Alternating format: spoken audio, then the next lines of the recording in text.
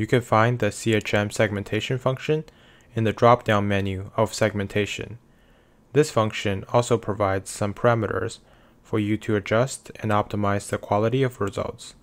The function will generate two data products under the path of CHM file, which are a vector file that marks the position of each tree and a table containing tree attribute information, just like the point cloud segmentation.